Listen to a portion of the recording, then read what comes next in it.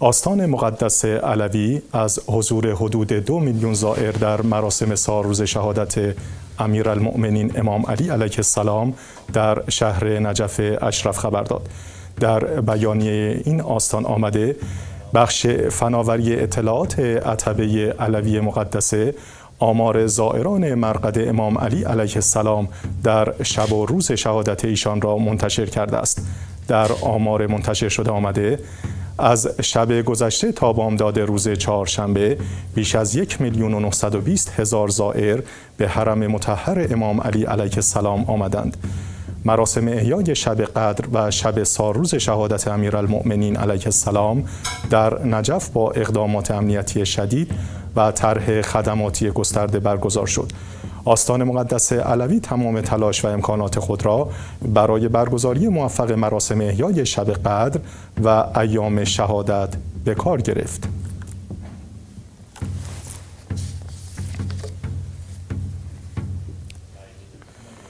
ترکیه در روند اخراج مهاجران غیرقانونی تعداد 365 پناهجوی افغانستانی را اخراج و به افغانستان بازگرداند.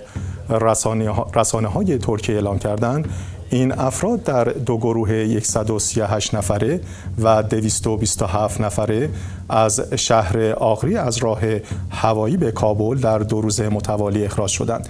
اداره کل مهاجرت ترکیه اعلام کرد این افراد فاقد مدارک اقامتی معتبر بودند و تاکید کردند تلاش برای اخراج مهاجران غیرقانونی بدون وقفه در سراسر این کشور ادامه دارد و انجمن حمایت از پناه، پناهندگان در ترکیه می‌گوید از دهم اسفند 1401 تا 17 فروردین 1402 دست کم 1019 پناهجوی افغانستانی در این کشور دستگیر شدند.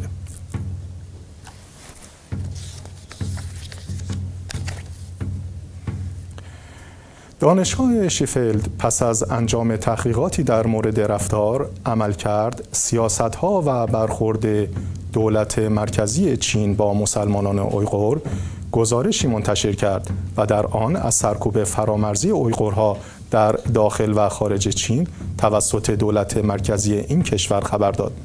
این گزارش بر اساس مصاحبه با بیش از 120 مسلمان اویغور که در ترکیه و انگلیس اقامت دارند صورت گرفته است.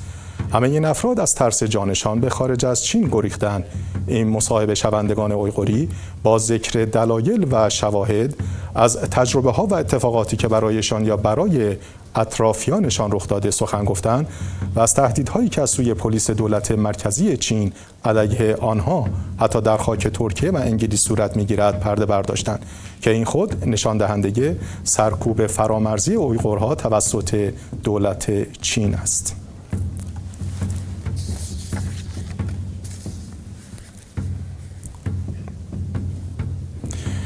نمایشگاه نسخ کمیاب و خطی و کهن قرآن در موزه ملی عراق افتتاح شد.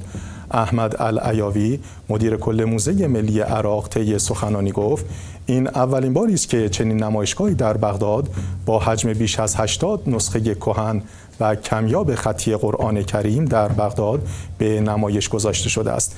وی در ادامه گفت قدمت این نسخ به قرن اول هجری برمیگردد یعنی قبل از تولید کاغذ و بر روی پوست نوشته شده و در دوره های بعد از آن به دست خوشنویسان بزرگ عراقی و غیر عراقی روی کاغذ نوشته شده است. در پایان قابل ذکر است این نسخه خطی بخشی از آن چیزی است که در انبار نسخه خطی نگهداری می شود این گنجینه شامل 47 هزار نسخه خطی به زبانهای مختلف و پیرامون موضوعات گوناگون است که گنجینه فرهنگی و میراث عظیم را در عراق و به ویژه در بغداد در هزاران سال پیش نشان می دهد.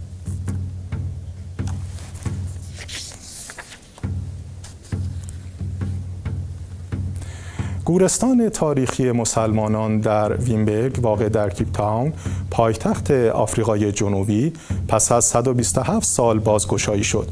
کمیته مسجد یوسفیه و شورای قضایی مسلمانان در بیانیه اعلام کردند که این قبرستان تاریخی این قبرستان تاریخی پس از 127 سال بازگشایی شده و مراسم تدفین و خاکسپاری در آن از سر گرفته می شود با کمبود فضای دفن در کیپ تاون اداره دفن تصمیم گرفت با مسجد یوسفیه برای رایزنی درباره بازگشایی قبرستان مسلمانان وارد گفتگو شود شیخ ابراهیم موسا از کمیته مسجد یوسفیه گفت که شورای شهر به آنها چراغ سبز نشان داد تا قبرستان را برای استفاده مجدد بازگشایی کنند و این کار به خوبی انجام شد.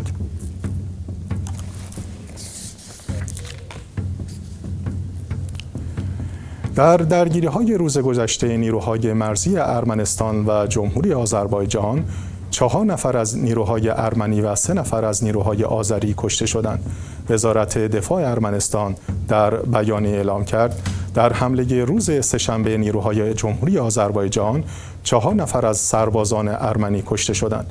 وزارت دفاع جمهوری آذربایجان نیز اعلام کرد که در پی وقوع درگیری در مرز جمهوری آذربایجان و ارمنستان سه سرباز ارتش جمهوری آذربایجان کشته شدند و در این بیانیه همچنین آمده است که سربازان ارمنی مستقر در شهرک دیغ در استان گروس مواضع آذربایجان در مسیر لاچین را هدف تیراندازی قرار دادند وزارت دفاع جمهوری آذربایجان تاکید کرد که ارتش به این حملات پاسخ متقابل داده و ارتش ارمنستان متحمل خسارات قابل توجهی شده است.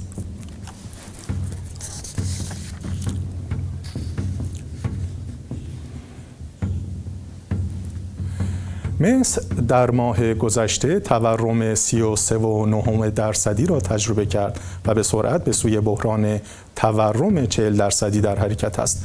از 103 میلیون نفر جمعیت کشور مصر بیش از نیمی از مردم توانایی خرید مواد غذایی اولیهشان را نیز ندارند. به گزارش اخبار شیعه ارزش پول ملی مصر با سرعت زیادی در حال سقوط است. در ماه گذشته پوند مصر 50 درصد ارزش خود را در برابر دلار از دست داد. دولت عبدالفتاح السیسی برای جلوگیری از بحران محدودیت هایی بر واردات اعمال کرد تا از کمبود دلار در کشور جلوگیری کند.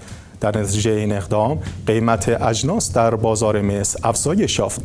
در پایان گفتنی است وضعیت وخیم اقتصادی فعلی در صورت تداوم نارضایتی عمومی و اعتراضات مردمی و به دنبال آن تشدید فضای امنیتی داخلی مصر را افزایش خواهد داد.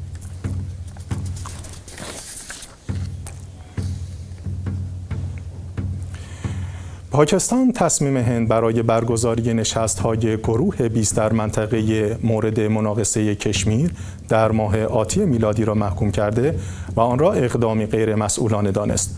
خبرگزاری رویترز می‌گوید هند و پاکستان ادعای مالکیت بر کل کشمیر را دارند اما هر یک از آنها بر بخشی از این منطقه حکومت می کنند. هند روز جمعه تقویم کامل رویدادهای منتهی به این اجلاس سران را منتشر کرد که شامل نشستهای گروه 20 و, و جوانان 20 در سرینگر مرکز تابستانی کشمیر و در شهر له در نزدیکی منطقه لداخ در آولیر و مه سال جاری میلادی است. از سوی دیگر وزارت امور خارجه پاکستان در بیانیه انتخابات انتخاب این مکانها را در منطقه مورد مناقشه کشمیر محکوم کرد این بیانیه هند را به بی احترامی به قطنامه های شورای امنیت سازمان ملل و نقض اصول منشور سازمان ملل و قوانین بین المللی متهم کرد. در ادامه این بیانیه آمده است پاکستان این اقدامات را قویا محکوم می کند.